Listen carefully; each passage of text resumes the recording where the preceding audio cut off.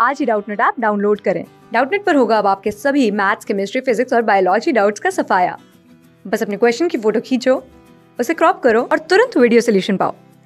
Download now. Hello everyone हमने अपने पिछले वीडियो में एक पार्ट पढ़ा था, जिसका शीर्षक था लंका में हनुमान। और यह पार्ट एक राम कथा है। राम कथा का मतलब इसमें भगवान इसमें लेखक ने भगवान राम के बारे में हमें बताया है। और यह पाठ कक्षा छः की पुस्तक बाल रामायण से लिया गया है। और इस पाठ और इस पुस्तक के लेखक मधुकर उपाध्याय जी हैं। और इस पूरी पुस्तक में लेखक ने भगवान राम के बचपन से लेकर उनके वनवास और सीता हरण और उनका वापस में अयोध्या में, उनका वापस में राज्याभिषेक होना, यह सब उन्होंने हमें बताया हुआ है। तो अभी तक हमने इसका पहला भाग पढ़ लिया है, जैसे कि हमारा शीर्षक है, लंका में हनुमान। तो इसमें जब हनुमान जी लंका में सीता माता को खोजने के लिए गए थे तो इस भाग में इस बारे में लेखक ने बताया है। तो चलिए अब हम इसका दूसरा भाग पढ़ते हैं। लेखक लिख रहे हैं कि एक एक करके उन्होंने राक्षसों के सारे घर छान मारे, पशुशालाएँ भी देख ली। तो हमने अपने इसके पहले भाग में पढ़ा था कि जो हनुमान जी हैं, वह लंका गए हुए थे। अब चूँकि जब राम सुग्रीव के पास गए हुए थे अपनी उनसे सहायता मांगने तो उन्होंने अपनी पूरी वानर सेना को उनको सीता के खोज में लगा दिया था। तो जब वानर सेना दक्षिण दिशा में जा रही थी तो उन्हें वहाँ पर एक बहुत बड़ा समुद्र मिला।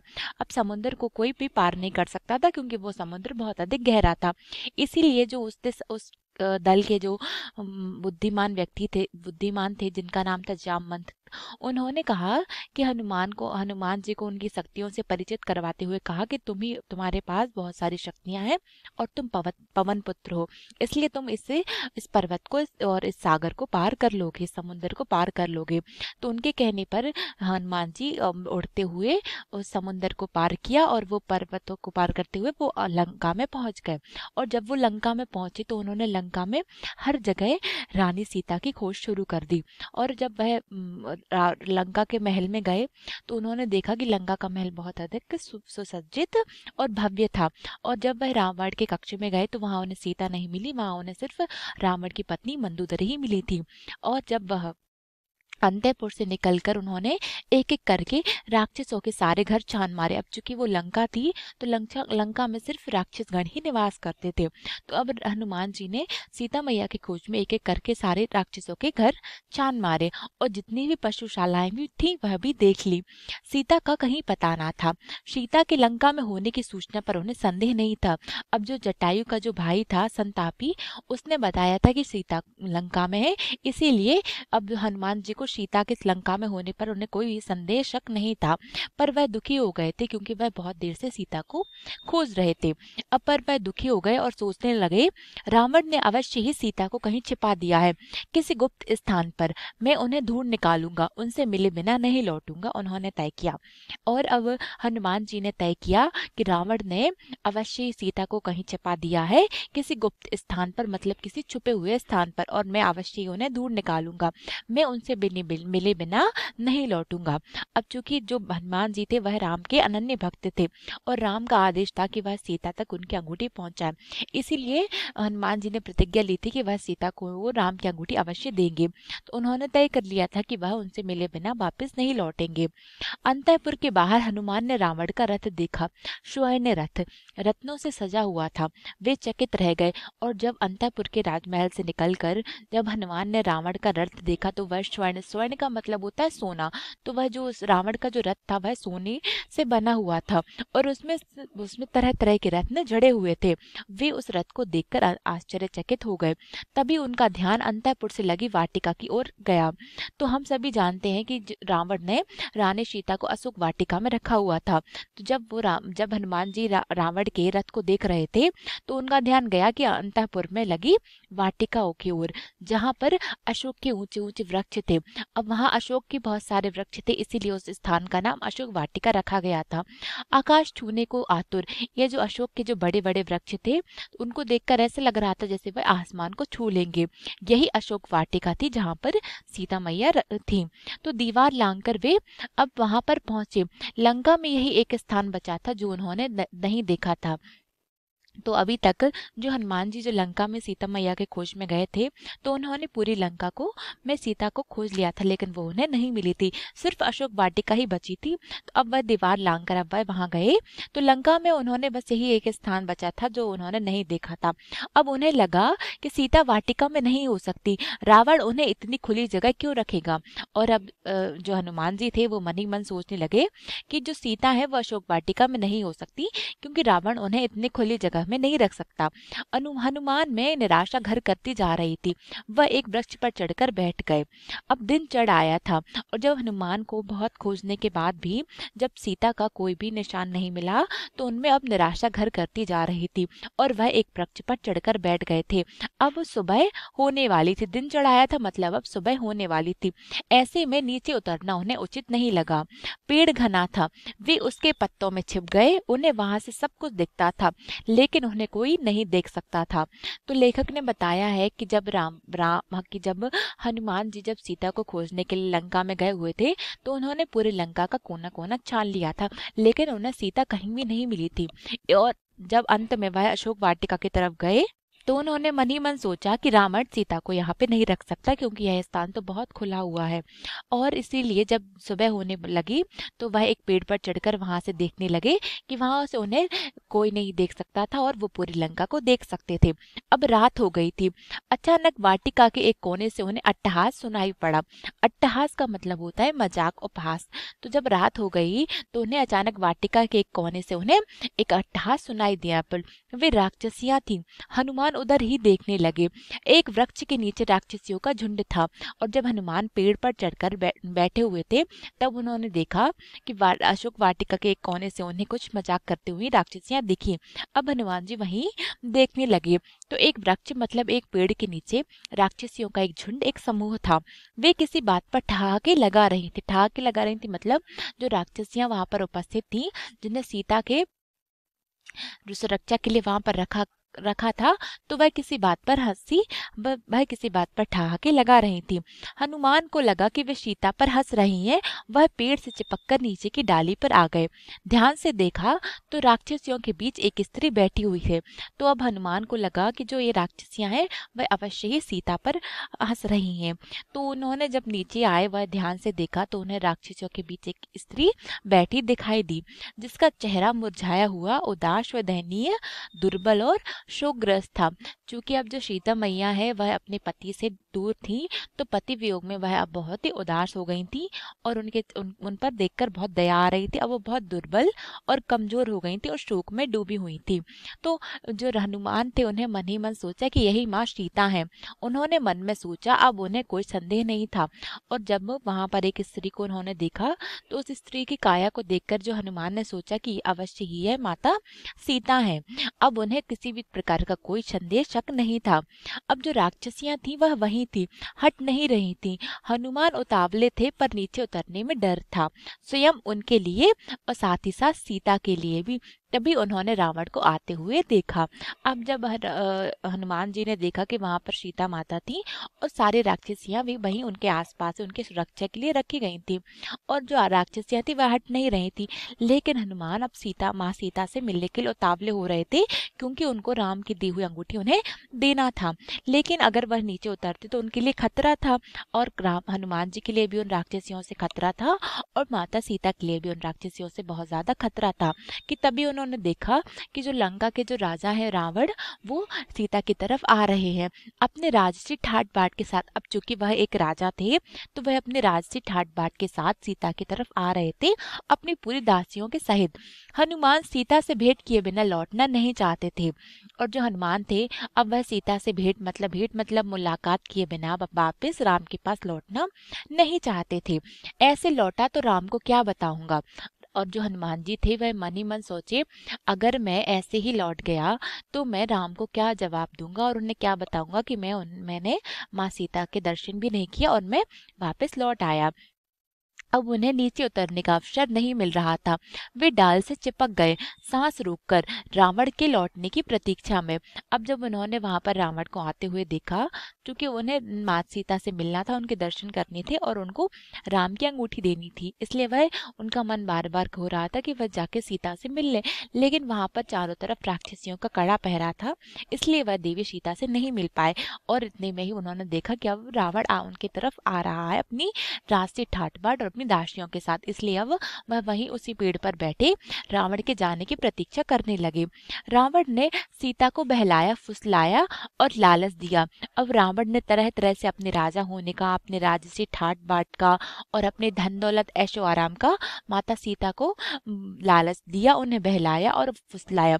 अब जो कि रानी, जो सीता है तो हम सभी जानते हैं कि वो तो एक पति प्रता स्त्री है तो वह अपने अपने पति से नहीं डिगी। वह रावण की किसी भी बात से, बातों में नहीं आई। रावण ने तरह तरह से उनको प्रभावित करने की कोशिश की, लेकिन वह अपनी, अपने अपने पतिव्रता मार्ग से नहीं डिगी। अब वह डर से काँप रही थी, पर उन्होंने रावण की एक ना सुनी तिरस्कार किया। और जो सीता थी, वह रावण के डर से काँप रही थी, लेकिन उन्होंने रावण की एक बात नहीं सुनी और उसका तिरस्कार किया और उसका अपमान किया। रावण ने कहा कि तुम्हें डरने की आवश्यकता नहीं है, सुमुखी। मैं तुम्हें स्पर्श नहीं करूँगा। जब तक तुम स्वयं ऐसा नहीं चाहोगी। तो जो रावण है, वह सीता की इज़्ज़त बहुत, वह सीता की बहुत अधिक इज़्ज़त करते थे। तो उन्होंने उनको इज़्ज़त देते हुए कहा कि तुम्हें डरने की आवश्यकता नहीं है, सुमुखी। मैं तुम्हें स्पर्श नहीं करूँगा। जब तक स्वयं तो जब तक तुम स्वयं ऐसा नहीं चाहूँगी, मैं तो तुम्हें अपनी रानी बनाना चाहता हूँ। मेरी बात मान लो और सुख भोग करो। अन्यथा मैं तुम्हें तलवार से काट डालूँगा। सोच लो, तुम्हारे पास अब केवल दो महीने बचे हुए हैं। और जब रानी सीता उसके, रावण की बात नहीं मानती है और उनका तरह तरह से तिरस्कार करती हैं, लेकिन वो उनके से डर भी रही थी तो जो रावण है, वह स्त्रियों की इज़्ज़त करता है। इसमें दिखाया गया कि वह रानी सीता की बहुत अधिक इज़्ज़त करता है।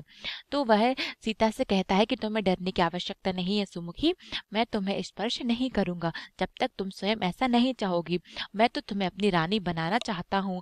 इसलिए तुम मेरी बात मानो और मेरे साथ मेरे राज्य में चलो, वहाँ पर तुम तुम ऐशो आराम की ज़िंदगी तुम्हें मिलेगी। अगर तुमने ऐसा नहीं किया, अन्यथा मैं तुम्हें अपनी तलवार से काट डालूँगा। सोच लो, तुम्हारे पास अब केवल दो ही महीने बचे हैं। तुम या तो मेरी रानी बनने के लिए तैयार हो जाओ या मृत्यु लोग जाने के लिए तैयार हो जाओ। तो तरह तरह से रावण सीता को धमकी देता है।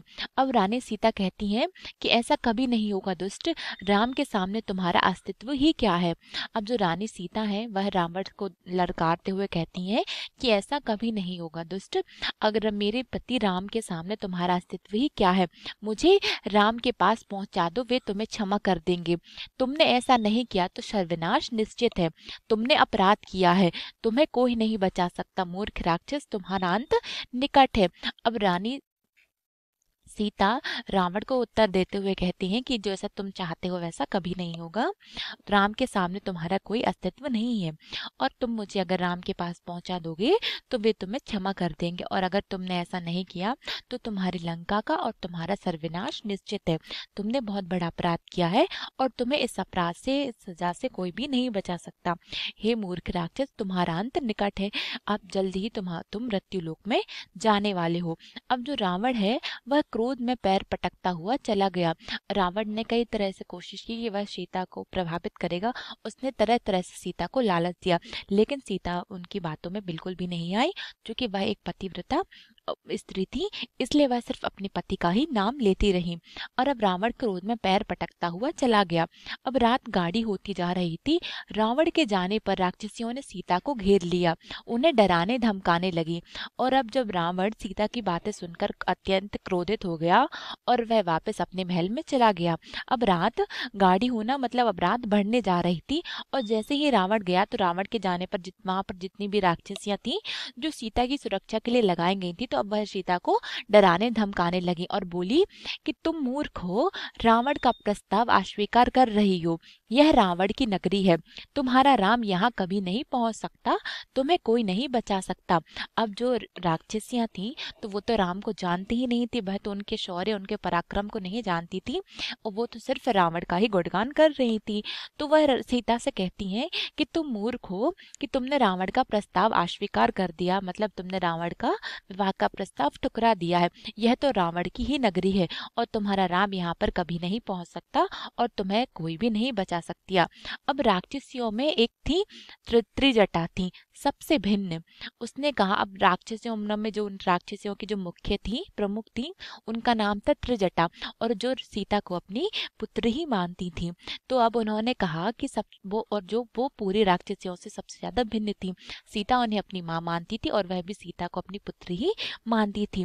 तो जो त्रिजटा थी तो उन्होंने कहा कि मैंने एक सपना देखा है, पूरी लंका समुद्र में डूब गई है और सब कुछ नष्ट हो गया है। यह सपना अच्छा नहीं है। कहीं यह सीता के दुख से जड़ा जुड़ा तो नहीं है। सीता की हिचकियाँ बंध गई वह बिलाप करने लगी। अब जो रानी सीता है वह त्रिजटा राक्षसी की बात सुनकर उन जो त्रिजटा राक्षसी है वह कहती है कि मैंने एक सपना देखा है कि पूरी लंका अब समुद्र में डूब गई है और सब और सभी सबका विनाश हो गया और सब कुछ नष्ट हो गया है। और यह सपना अच्छा नहीं है। कहीं यह सपना सीता के, के दुख से तो जुड़ा नहीं है और कहीं और उसकी यह बातें सुनकर सीता की हिचकियाँ बंद गई। वह विलाप करने लगी। विलाप करने का मतलब है वह रोने लगी। अब जो त्रिजटा नाम की जो राक्षसी है, वह कहती है, कहीं जो सीता के साथ जो हमारे जो रावण ने और हमारे लंका नगरी में जो भी गलत किया है तो कहीं इसका परिणाम बहुत ही बुरा होगा और इससे इससे हमारे पूरे लंका का सर्वनाश हो जाएगा। अब जो सारी राक्षसियाँ थी, वह एक एक कर सारी चली गई। अब सीता अशोक वाटिका में अकेली थी। यह अच्छा अवसर था। अब जो हनुमान जी थे, वह बहुत देर से अभी पेड़ पर चढ़े हुए ये सारी घटनाएँ, सारा पराक्रम देख रहे थे और उन्होंने देखा कि किस तरह से जो सीता थी, वह रावण को ललकारती है और अपने पति का ही साथ देती है। तो जब उन्होंने देखा कि एक एक करके सारी राक्षसियाँ चली गई, अब सीता अशोक वाटिका में अकेली थी और यह अच्छा अवसर था। पर हनुमान पेड़ से नहीं उतरे। कहीं सीता मुझे भी राक्षस ना समझ ले मायावी चाल मान ले, उन्होंने सोचा। तो हनुमान ने मन ही मन सोचा कि कहीं माता सीता मुझे भी राक्षस ना समझ ले और कहीं ये राक्षसों की माया ना समझ लें कि किसी राक्षस ने अपना भेष बदल के मुझे कि मैं कोई राक्षस हूँ और अपना वेश बदल के उनके पास आया हूँ। कहीं माता सीता मुझ पर विश्वास ही ना करे। अब जो प्रभक जो हनुमान थे उनके मन में इस तरह के तरह तरह के सवाल आते रहे। पेड़ पर बैठे बैठे उन्होंने राम कथा प्रारंभ की और राम का गुणगान। रावण की लंका में राम चर्चा सुनकर सीता चौकी। उन्होंने ऊपर देखा, जिधर से आवाज़ आ रही थी और पूछा कि कौन हो तुम? तो अब जब राम ने सोचा कि कहीं ऐसा ना हो कि जो सीता माँ है, वह मेरी बात पर भरोसा ही ना करे। इसलिए उन्होंने, उन्हें एक युक्ति सूझी और वह अपने पेड़ पर बैठे बैठे उन्होंने राम कथा का प्रारंभ किया और उन्होंने अपनी पूरी कथा में भगवान राम के गुणों का गुणगान किया है। तो अब जब सीता ने सुना कि रावण की लंका में कोई राम के गुणगान के बारे में बात कर रहा है तो सीता अब चौंक गई। उन्होंने ऊपर देखा जहाँ से आवाज़ आ रही थी और उन्होंने ऊपर देखते हुए पूछा कि तुम कौन हो तुम? तो हनुमान नीचे उतर आए। उन्होंने सीता को प्रणाम किया और राम की अंगूठी उन्हें दी। अब जो हनुमान थे, वह सीता की बात को सुनकर नीचे, पेड़ से नीचे उतर आए और उन्होंने सीता माँ को प्रणाम किया और उन्होंने राम की दी हुई अंगूठी दे दी। तो हमने अपने पिछले भाग में दिया, देखा था कि हनुमान जी जो राम है, वह हनुमान को एक अंगूठी देते हुए कहते हैं कि तुम यह अंगूठी सीता को दे देना, वह समझ जाएँगी कि मैं उनकी रक्षा करने के लिए आ रहा हूँ। अर्थात तुम दूध बन के, मेरे दूध बन के सीता के पास जाओ। तो हनुमान जी ने वैसे ही किया और जब वह सीता को, से मिले तो उन्होंने सीता को प्रणाम किया और राम की अंगूठी दे दी और उनसे कहा कि, हे माता, मैं श्री राम का दास हूँ। किसकिधा के वानरराज सुग्रीव का अनुचर, उन्होंने मुझे यहाँ भेजा है आपका समाचार लेने। और अब जो हनुमान है, वह सीता माता को अपना परिचय देते हुए कहते हैं कि, मैं श्री राम का दास हूँ। किसकिधा के वानरराज सुग्रीव का गुप्तचर और अनुचर हूँ। उन्होंने मुझे यहाँ पर भेजा है आपका समाचार लेने। अब हनुमान को लेकर सीता के मन में अब भी शंका थी। उन्होंने पर्वत पर फेंके आभूषणों की याद दिलाकर संदेह दूर किया। अब जो सीता थी, वह अभी भी सोच रही थी कि यह किससे ज़रूर ही राक्षसों की कोई चाल है, और यह हनुमान जो भी है, वह भी राक्षसी हैं। वह उनकी बात पर विश्वास नहीं कर रही थी, लेकिन हनुमान ने जब उन्हें बताया कि आप जब लंका की ओर आ रही थी तो आपने हमने भगवान राम के लिए अपने कुछ आभूषण फेंके थे तो हम लोगों ने वो आभूषण उठाकर भगवान को, राम को दे दिए थे। तो जैसे ही उन्होंने पर्वत पर फेंक आभूषणों की याद दिलाई तो अब सीता का जो भी संदेह था, उनके मन में जो भी बात थी, वह दूर हो गई। सीता ने राम का कुशल क्षेम पूछा, कई प्रश्न किए। अब सीता ने देखा कि जो हनुमान है, वह तो राम के भक्त हैं और उनके, उनका समाचार लेकर आए हैं। तो उन्होंने भी राम के का बारे में पूछा, उनका कुशल मंगल पूछा कि राम कैसे हैं और भी कई प्रश्न किए। हनुमान उन्हें कंधे पर बैठाकर राम के पास ले जाना चाहते थे। सीता ने यह प्रस्ताव अस्वीकार कर दिया। अब जब राम की, जो हनुमान थे, उनकी इच्छा थी कि वह अपने कंधे पर बैठाकर सीता को अपने साथ वापस राम के पास ले जाए, लेकिन जो माता सीता थी, उन्होंने यह प्रस्ताव अस्वीकार कर दिया। उन्होंने कहा कि यह उचित नहीं होगा पुत्र, पकड़े गए तो मेरा संदेश भी राम तक नहीं पहुंचेगा।